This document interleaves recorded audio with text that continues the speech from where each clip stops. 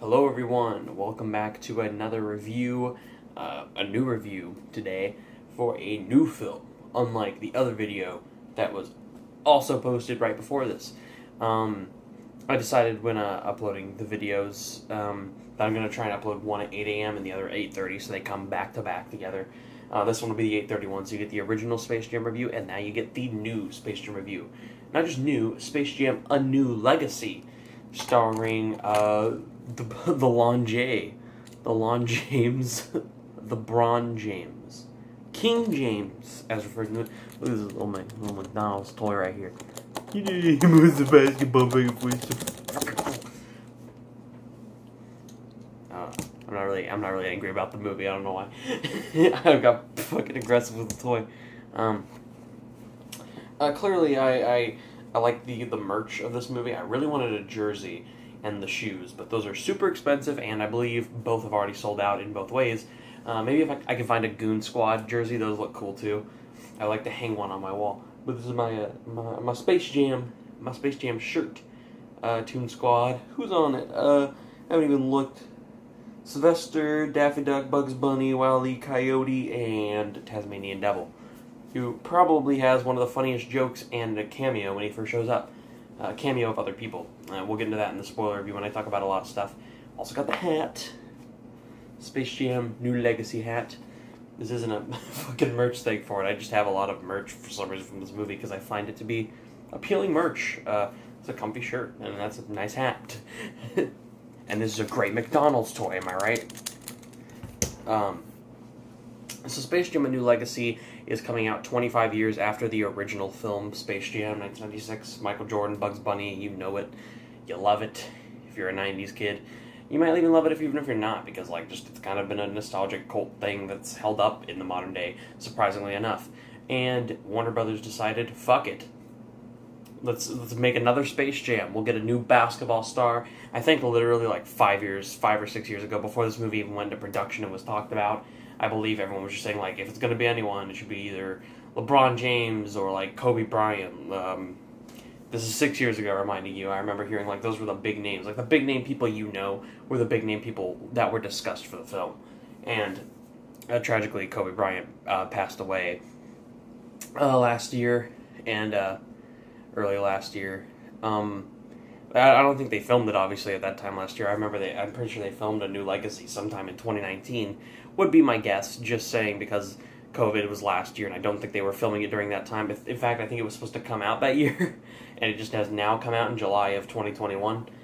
Um, and honestly, I, ha- I have to admit, I've been worried about this film heavily. The marketing and the trailers and the clips online have been the most annoying, cringy pieces of fucking shit I've seen. Like, I was actually looking more forward to at a point going to see Boss Baby 2, which was also a surprise, might I add, uh, just to point out that that one was a surprise. Uh, as well as like Peter Rabbit 2 and shit like that. Those have been like surprises. So like maybe I thought this one could surprise me. But with the marketing, I was like, probably not. This looks like fucking terrible. All the jokes are terrible, are weird. It's clearly just a marketing gimmick for other films at a point. Fucking Porky Pig raps for like no goddamn reason. The Matrix scene online, I was like, dude, just all these clips are fucking. They're nightmare fuel. It's purely nightmare fuel of how bad it looked and I, I went into it like, you know what? Like a few weeks ago, like a week or two ago, I started hyping myself up for it. I was like, you know what? Maybe they're releasing like the worst shit online because re- early reviews are coming out from like uh, pe- people got it early. I believe like Britain got it early. Uh, maybe China did or something. I don't know. I believe a few places were getting it early, and I saw reactions online saying like, you know, it's like okay, it's fun. Like it's just as fun as the original, and there's some like great cameos and little gags that that will work. And I'm like, well, that's cool. And I was hearing LeBron was at least better than Michael Jordan, um, which without even establishing it, like I saw LeBron in Trainwreck, and I was like, I can just tell from the trailer, like he doesn't look good, but he looks definitely better than Michael Jordan does in that movie. At least he doesn't look like he wants to kill himself constantly when on screen, interacting with fake animated characters that are around him. LeBron looks like he has something in mind of a goal. Uh, this man right here. Um, and honestly speaking, I'm gonna keep him here the whole review. Fuck it. and uh, honestly speaking, uh, LeBron like did a fairly good job. I felt uh, uh, he was he was quite great. King James himself, he did a good job in comparison to uh, uh, Michael Jordan, and um, that doesn't mean he did a good job logically. Like if you're being legitimate, he did a fucking bad job.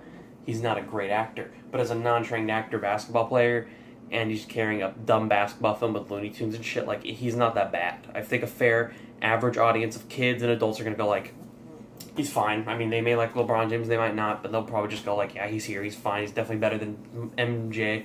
Not saying he's a better basketball player, he's still the goat, but you know, like, it's just me. I did watch a lot of basketball in like 2014 ish, so you know, kind of have some love for LeBron James in a way. Uh, 2012 to like 2015 was like maybe the years I really was into basketball. Um, overall, he gives a solid performance. Overall, the story here, believe it or not, as much as it's a fucking ridiculous story that when you go see it will make you go, what the fuck? what is happening with fucking Don Cheadle was like an algorithm in the goddamn Warner Brothers system controlling everything. It was like a mental breakdown when LeBron James says he doesn't like his idea, and he's like, mm, LeBron James doesn't like my idea. My idea is fucking genius. I'm supposed to be Don Cheadle beating up LeBron James. That's what that represented. Um, and seriously speaking, it's such a ridiculous story. LeBron James' son wants to be a game, like a, a coding, like a gamer. He wants to make video games and he wants them to learn basketball. Uh, they're not played by his actual children, by the way. I mean, I kind of figured that early on, but I thought it'd be funny if they did. actually, were actually played by his children and like his wife. That'd be cool. I, I would just like to see that. But you know, we got actors. It's fine. Um, and his son wants to be like a, a game creator. He wants to create games, but he wants him to play basketball. He wants him to push his limits on that because that's what he was told to do when he was younger and uh, that was like a fun aspect to deal with because LeBron, you could watch this movie and kind of be like, well, LeBron as a dad is kind of a fucking dick. He's like really aggressive because that's what he's been taught to do. And I think that that's a fun concept to play with, and it actually does, weirdly enough, fit into the story as well as all these cameos. Unlike Ready Player One, where they're kind of just there because they're in a video game world to throw them at your face. Unlike like a property like uh, I'm trying to think of one um, not like a Lego Movie. Lego Movie does it very well as well, and it makes fun of it. Maybe it's just Ready Player One. I'm thinking a movie that just throws nostalgia and shit you've heard of at your face constantly. And while that movie is a decent, fun watch, I suppose it it, it is a mess overall, and it does feel unnecessary. Like the shit's just there to be there. Here, weirdly enough, it fits in with the story in some ways. Like the fact that the Looney Tunes have left the Bugs Bunny on Toon World to go explore the serververse because Don Cheadle was like, you guys should all split up. Like, there's way more cool shit around here. You know that. And it like it makes it's supposed to make like these movies that people watch online bigger because you're like, oh, well now Wiley Coyote and Roadrunner are in Mad Max and uh, Granny and fucking Speedy Gonzales are in the Matrix and stuff like that, which make for some fun gags. The, other than the Matrix one, I thought that the all the other ones were like kind of funny to see for like a few seconds here and there. There are some great cameos, and I guess I'll start getting into spoilers a little bit.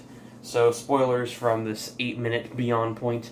Um, Rick and Morty uh, had a cameo that was like really funny actually. Your problem now, Dum Dum? It wasn't just that they showed up, but they showed up. I was like, okay, I had heard a rumor they might be in it, but I thought it would be like a background thing. Like I've been hearing everyone's background characters. Like no, they're genuinely in it, and they have like a funny little joke about like the Tasmanian devil. They're like, we're trying to experiment him and take away like all his symptoms of being like this crazy fucking beast, but we couldn't even I couldn't figure it out. And Morty was like, I'm scarred, help me, Rick.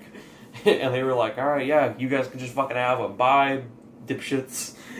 Obviously it's a kids film, so he has to be like, later dum dums. it was a little cheesy hearing like dum dums. I wish you know what? I, I was thinking to myself this whole movie, like, why didn't they push for a PG thirteen? Like it would still get kids to go, but it'd be interesting to like have some swear words or have like maybe something more there of an impact. It, it's weird. Like there just felt like there was moments where they're like, "Shit, we really should use that PG thirteen. There's like a censored. When Don Cheadle swears, but they like censor it out, and then they have like Rick and Morty show up, but it like you know they have to say dum dums. But I heard hell and ass like multiple times in the movie. I'm like, they could just push it a little further. Like, look, the audience who's going to this, I'm sure like fucking six year old babies are gonna like it, but the main audience who's gonna want this are like 13 to 15 year olds who are into basketball, dash Looney Tunes, or adults who have nostalgia for the original. Like that seems like who mostly is gonna go see the movie. So I am curious they didn't make a PG 13. I actually do believe that would be a benefit to this film. Uh, it wasn't a big mistake. It just feels like it might have been. Okay, real quickly on the subject of cameos, I also forgot to mention that Michael B. Jordan, not Michael Jordan, has a funny cameo where the confusion is that he is not Michael Jordan. They think they have Michael Jordan, but it ends up being Michael B. Jordan. I thought that that was a funny concept of a joke. I've had that joke in my head for like years. I got, I've actually like confused their names before, not because the people, but just the names are like you just kind of fuck them up like on accidents. I've done that before. Um, cute little gag with that. So now back to the real video. Overall, I'm like thinking of how I would say I thought about this film as a whole. As a whole, it's kind of a mess. It's a bit too long. Its story is still stupid. Michael, um, not Michael Jordan, uh, LeBron James uh, is still he can't necessarily carry a movie yet. Not that he's terrible. I just didn't think he could carry a feature film on like his own path. Like he's the main guy of the movie. I can't say he could carry it on his own. Um, he does an okay job, I would say, but I, he definitely isn't like the charming actor. Like he was good in Trainwreck as like a small role, but he's definitely not like the charming actor that that has so much charisma. He's not even at like The Rock or John Cena level. Not even that John Cena is great, but he's not even at that level. If he could be at a John Cena level, I think I'd be giving him like yeah props. He actually like kind of does ignite the film to like something better. Um, and, and there's just certain things about it that I that I, I, I sat back and thought like there's so many fun moments that are legitimately funny and, and cool to see. And there's so many that are so unintentional where I'm laughing at the film and I'm like, this is kind of shitty and kind of really dumb. Uh, Don Cheadle, by the way, is the villain Al-G-Rhythm. You could tell he's having fun and he actually does a good job. He's like very over the top villain is person. He's kind of like a, a bitchy kids movie villain, but like he's he's fun to watch and it works. Uh, same for the kid who plays uh, LeBron James' son. I thought he was actually okay in terms of performances from the main actors. Those two are probably the actual best actors, which should say a lot. Unless you're considering voice actors, like obviously the people who play Daffy and Bugs, they don't sound 100% how you would like if you're a fan of the originals or other cartoons of people who played them. Um, but they're, they're, like fine. They work with you know what they got. They're they're they're good uh, there. Um, it's 30 minutes. The first 30 minutes are I don't even think he gets to the Toon World till around the 30 minute mark because it feels like it was actually a bit of a build up, and it's cool to see like LeBron actually developing a story with his son, and this does set up an arc that actually really enough fits into the story. Believe it or not, the video game his son's creating fits into the story fairly well. All these characters and IPs, despite clearly still being a goddamn marketing scheme for Warner Brothers, just so they can be like, look at all the shit we have. Like, it's clear that that's what this film is mainly for to make money off of um, and cash in on. But even with all that, it still feels fairly like impressively done. Like, it actually feels like it is pushing the narrative to have that in here. And clearly, like, they're hypocritical about it. Like, LeBron in a scene is like, you know, athletes in fucking movies like that just never goes well. Like hey, they're not good actors. We're athletes. He mentions that at one point. They make fun of the fact of like the original kind of at times. They uh, reference it. Um, they talk about how they try to convince him like, hey, we could put you in all these movies and. Uh, later on, he goes like, "I just would never do that. That's not something you'd see me." And then later on, as soon as he gets to the Toon World, like a bit later, because the the fucking algorithm or Al-G-Rhythm played by Don Cheadle just pushes him into the Toon World, and then they go explore their movies and shit to build his basketball team. And he's hoping to build it off like King Kong, Superman, like big people who could just like fuck shit up, is what he assumes. And um, that ends up not being the case. He ends up getting the Looney Tunes. Uh, that's pretty fair from the trailer, and it's obvious as it's going through the movie. It's also predictable. Like you can predict this movie 100%, like all the way through and through. It's not going to be some confusing narrative like kids are gonna get it, you're gonna get it. It's it's fairly simple shit to understand, and I I had fun with it. It's kind of like garbage. It's like a garbage film that's clearly just a marketing scheme for Warner Brothers, filled with cringy kid humor and like little Looney Tunes gags that some hit, some don't. But it's like a fun watch. Like I found myself sitting in the theater like, that was an hour and fifty minutes, and it does feel probably about that long, but at the same time I was like never bored. Like, honestly, at least this film has more style and weirdness and shit to it than a film like Black Widow or like uh, other fucking generic films I've seen. Black Widow wasn't bad, but it was just the most generic, average film I've seen from like Marvel, like ever. And it was a fun watch, but like, you know, it's like there. It, like it is just weird. I feel like I've been getting a lot of six out of ten films recently, like Mortal Kombat, uh, Black Widow, Spiral, films that overall I'm like I'm watching. I'm like I don't know how to feel like if I liked it or didn't. I feel like these are just all average films. And for me, Space Jam: A New Legacy was like probably on the level of what an average film should be, a six out of 10, 5 out of ten movie. But I had like fun, like I was watching like an eight out of ten movie. I feel like I was watching a really entertaining film that I constantly was enthralled to be watching. Like I would go back and watch this again possibly because it's a fun kids movie, and I, I do like me my kids movies at times. And visually, it looks appealing, and it goes by quick in, in my mind. And I'm a huge Looney Tunes fan, at least stuff like the main Looney Tunes, and I, I like LeBron for the most part. Like I could see myself watching it again for like these little bits. I'm not saying it's gonna hold up in the future. I'm not saying it's like a masterpiece or a film I could highly rewatch, but I had fun with it. I talked about the first movie. I was like, I have fun with that one. That one goes by way quicker. And overall, I would say that this film is probably a better movie and probably a more actual narrative that makes more sense. And I can tell LeBron's a better actor than Michael Jordan. Um, although I will say again, this movie is a bit long and still a predictable, messy story with a bunch of cringe humor that you could expect and it is hypocritical on itself, just being the fact that they make fun of how many properties they have, but they're still showing them. There's still a reason that that shit's there. There's a reason Rick and Morty is there because it's Adult Swim, Warner Brothers. They're still trying to get you to get that HBO Max subscription, or you know, like subscribe to like an online thing to watch Rick and Morty. That shit's like real stuff you could do, and that's clear that that's all here. That's apparent, like 100. percent But I was never bored. I was never bored in that theater. I was like either laughing intentionally or unintentionally, and I like the animation and look of it, so I just felt like it was a fun watch. I don't know, like, really how much to say about it. Like, I don't feel like I, I can, like, shit on this movie. I feel like if I do, I just sound like a brat, like, yeah, cringe humor and Porky Pig rapping was fucking stupid. Like, it was. That was, like, a terrible scene, I'm not gonna lie. But it didn't, like, ruin the whole movie for me to be like, when Porky Pig rapped, I'm gonna give it a 1 out of 10 now. Fucking Porky Pig's bars. He called himself lit. This pig is lit. That line made me give it a 0. I was gonna give it a 10 until that. like, nothing like that's gonna throw it off. I'm sure a kid. I heard people, like, directly behind us who were clearly, like, adult women laughing at that, like, that bit. Like, they were like, that was actually funny.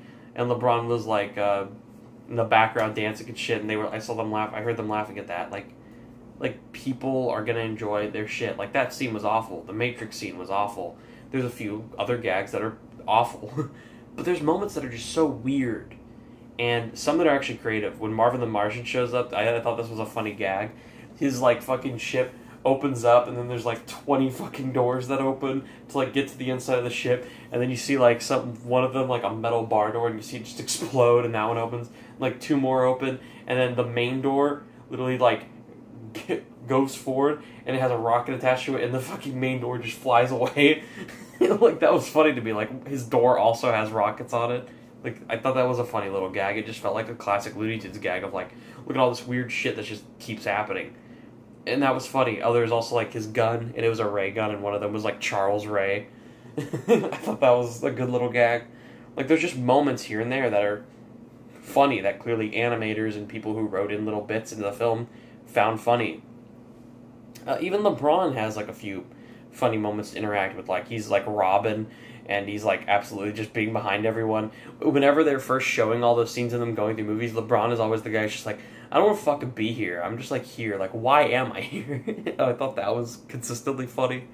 He was like in the Matrix. He's like, "Hi, Granny." Like you could just tell he's like. I mean, I'm not getting the team I want. I'm just getting the fucking Looney Tunes back together because Bugs Bunny's plot, and weirdly enough, this was a funny plot element, and it did kind of work. Was Bugs was missing his fam- family and friends. He just didn't have them anymore. They all left Toon World. He felt like they betrayed their characters by going to other shit because Al-G-Rhythm told them to. And, and that was funny to watch, like Bugs Bunny get drunk and have a sob story about how he misses them. Him checking everyone off the list. They do hint, and I don't think this is important to everyone, but I was curious if they would bring back like the romantic relationship between Lola and Bugs. Uh, thankfully, it's not like there, but it is mentioned sometimes. Like they do hint at their relationship. There are little elements where I'm like, clearly they're showing that that's a thing. And um, the basketball game, complete nonsense. It's even the first one is kind of nonsense in a way too, but it's actually like they're still playing basketball, although they can crush people and beat the shit out of people. I mean, it's just not mentioned here. It's based on his son's video game, which is kind of this ridiculous oversight of just goofy, crazy shit you can do. And I'm sure it's like because it's from a 12 year old kid and the game is already kind of goofy. It's just an excuse for loony ish stuff to happen in the final act. It's also just an excuse for him to be like, son, I, your game was a good idea, and it's great to have like LeBron emotionally connect with his son, and you know obviously piss off Don Cheadle, which we get a giant CGI Don Cheadle later, which is creepy as fuck. that element to me was funny, but um, again, Don Cheadle was fun in the movie, but that element was funny. Uh, I will say there's uh, this is a pointless thing to bring up, but a final mention since I've gotten through. I've liked some of it. I still had fun with it, even if it's kind of a shitty film. Uh, um, in a way, I, I there's this character, uh, Pete was it P Pete? It was like the little robot person that helped out uh, Don Cheadle, Al-G-Rhythm. Um, I found that robot to be just constantly annoying. His gag was always just like, hmm, oh, wow, huh. like that was his gag, as he just had reactions to shit he said. He was like the like the like sloth belts from the Croods movies, but like if he accomplished nothing and even had less funny jokes. I don't know. There's also moments like when the family comes to like try and find LeBron James. There's like one or two of them, and I'm like, if you cut these scenes out, it wouldn't have made a difference, and they're like two minutes long. There was a funny scene, although, with a guy who like was the executive, like helping LeBron, like, like oh, you should join this Warner Brothers thing. Like he was the guy like showing him around, like to Warner Brothers Studios. Like he's kind of like a, a person who gets him around places. Uh, what what would you call it? A manager type thing? I don't know. what I'm trying to say but he goes to like say like to the security guard like I lost LeBron James. You got me look for him. The security guard's like you lost LeBron James. You're a fucking idiot. Like seriously, that's what you should be going to look for now. You should tell his wife that you've lost him. Like why are you trying to hide it? You fucking idiot. and he's like calling the wife and he's like, oh you know what? Uh, um, I've all losing service. I'm at the Grand Canyon. And the security guard was yelling at the wife on the phone like, no, he's lying. He lost LeBron James, your husband, and he's not going to look for him. And he, he's a terrible executive you have to realize this. And he's also bothering my per- he's also like invading my personal space while I'm doing my job. I thought that, that the security guy was funny. He probably got the biggest laughs from me the whole movie. Um, overall, it's film for marketing and fucking people to do, make money off of, such as LeBron and Warner Brothers. And with all that being said, that's fine. I mean, the shoes and shit look cool as hell. I would like to buy those, the new LeBron 19 shoes, if you know what I'm saying. I thought they're gonna be like 200 bucks, but whatever. They look cool as shit. So, do I recommend Space Jam: A New Legacy to kids and adults and people who are nostalgic for the original?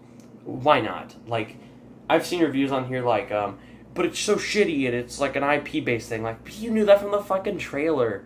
Like, but at least it's fun, kind of to me. I thought it went by and it was fun.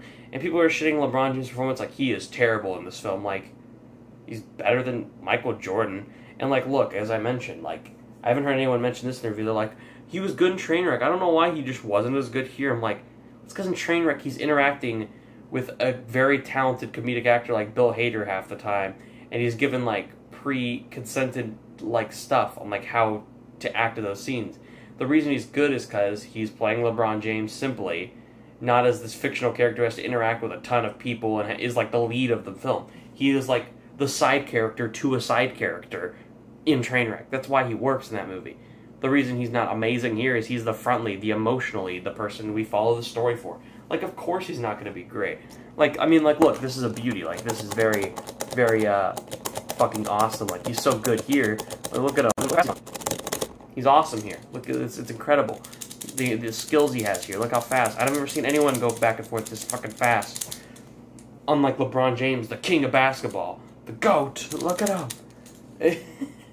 like he, he he's like he's great at that like but he's not an actor and that's even mentioned in the film. So I, I just i don't see like where i can complain about the movie. If i was entertained and laughing and even if it's a stupid film like the first one then i feel like it accomplished its goal. I feel like it's the what i wanted to see from it. Like i could totally get complaints. There's some really cringy moments and a lot to technically hate. But i would come back and watch this. I'm just being honest. Like i would see this again maybe once or twice in the near future. And if I'm getting the 4K soon, as I mentioned in my first review of Space Jam, the original, I'll probably get this on like Black Friday for like 10 bucks or 15 bucks on 4K when it's cheaper. And I would do a double feature. It could be fun. I'm a Looney Tunes fan. Like, what can I say? Eh, and I still kind of like basketball, and I enjoy LeBron James. Like, whatever. Like, this isn't a special film. You're not going to watch this because it's an amazing film. You're to watch this because you just want a simple, fun time, or your kids want an outing this fucking weekend. Like, that's just it. So, for me, I'm to give it a slightly better review than I gave the first, and I'm really enough to give it the same review I gave Black Widow, but I would probably decrease my Black Widow score a teensy bit to the. Uh, I'll, I'll, get to that when I finally do a spoiler review, which will happen at some point in the near future. I just don't know when. A lot coming up soon. Um, I'd give this a six and a half out of ten. I, don't think that there's much to say other than I would give it a six and a half out of ten. It's a fun film, a simple, fun, garbage-filled film and yet it entertained me. I was not bored. I had fun with my friends. Even though it seemed, I think I liked it maybe the most. Maybe one of my other friends liked it more than me, but it seemed like most of them were kind of fucking really hating it and calling it terrible. And to be fair, like I don't even blame them for it. Like it's technically terrible, but it was just a fun watch. It's simple as that. If I can get some fun moments out of it, that I'm not gonna be calling it piece of shit. Like it was fine. Um, th- that's my review. I may felt like flubber and just a ton of filler shit for me to say, but like, I, how do I review this film? I just had fun, and I like to talk about the film again. It would be cool to do an Easter egg video, but I don't do that type of shit. Uh, like, I mean, I would do a video with a ton of editing. I'm working on a few now, but that's just like an Easter egg video. It's not my type of thing. Um, look up them though, because I'm sure there's like a thousand Easter eggs you could find, and I bet someone's done a video on it by now. Since it's been on HBO Max for already like 24 hours, you're like, yeah, 24 hours now. Um, um, fun, fun film. Um, and I'm to make a second segment um, to this video in a second. Alright, I'm back uh, really quickly for a second segment of the video. Uh, this is just a quick, like, little reminder. I'm to get my wisdom uh, teeth removed next Wednesday. So, in context of when this video drops, that would be in about four days. I'm very nervous, but it's coming. And that's going to stop me from movies next week. So, reviews for Old and Snake Eyes. I believe those are the two ones only that are big coming out. I think there might be a third one. Joe Bell, I think, with Mark Wahlberg. That would be the other one. Um, those three, I'll get to seeing them at some point. Uh, definitely Snake Eyes and Old. Maybe I'll see Joe Bell at home at some point. But uh, don't expect those reviews till at least the 28th after this video and then two more videos I'll have coming out after this, Escape Room 2 and Pig reviews, I'm going to be taking at least a, a week break. Because recording videos and that much, while being tired and in pain, and um, I've heard you can talk, but like, you definitely want to make a video talking, it would be pretty fucking distracting and weird. Uh, I'll definitely hold off on that to a point. And I do want to review those films and see them still. Like, I do want to see Snake Eyes and Old, whether bad or good, for a point. Um, but just don't expect reviews for them at least till a week ahead. And um, I would definitely say that week of the 28th, which is a Wednesday. Um, right, it would be the 20th. Yeah, 28th, which is a Wednesday. That third, the 30th, new movies come out. Uh, Jungle Cruise, I think. The Green Knight, some other stuff. That week, I'll be back to normal reviews, doing them consistently. It's just a week gap because of the wisdom tooth removal and uh, uh, work and other stuff happening. So you know, just just just uh, this is all uh, I wanted to put as a second segment to the video, just to let people know in this review, if they even cared about an old or a Snake Eyes review, that's when they would be uh, a little bit week delayed, um, uh, which is cool. So after this video, stay tuned for Escape Room 2 review and a review for Nicolas Cage's new movie Pig, uh, which I cannot wait to talk about and for y'all to see the video of. Um, and go back and check out my Space Jam 1996 review if you just came to this one. Uh, I think hearing my thoughts on that would uh, are fun. Uh, it's a dumb film as well, so check it out. I put a little bit of uh, editing and some stupid gags and that shit because why not? It was a classic film. Might as well while I have the footage easily available. So yeah, that's it. Um, bye.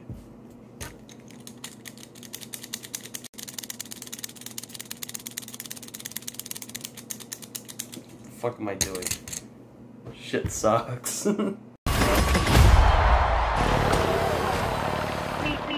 Well, that happened. Wow. Red the that, that's all, folks. Get pump up the jam, got the world in my hand.